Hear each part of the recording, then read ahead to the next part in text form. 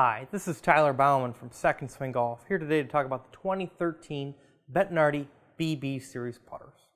The BB Series comes in three different models, the BB1, the BB34, and the BB37 that you see here. The BB Series putters have a hyper honeycomb face, which provides extra crispness at impact. The BB Series putters also come with a pewter finish, which is a real high, durable, non-glare finish.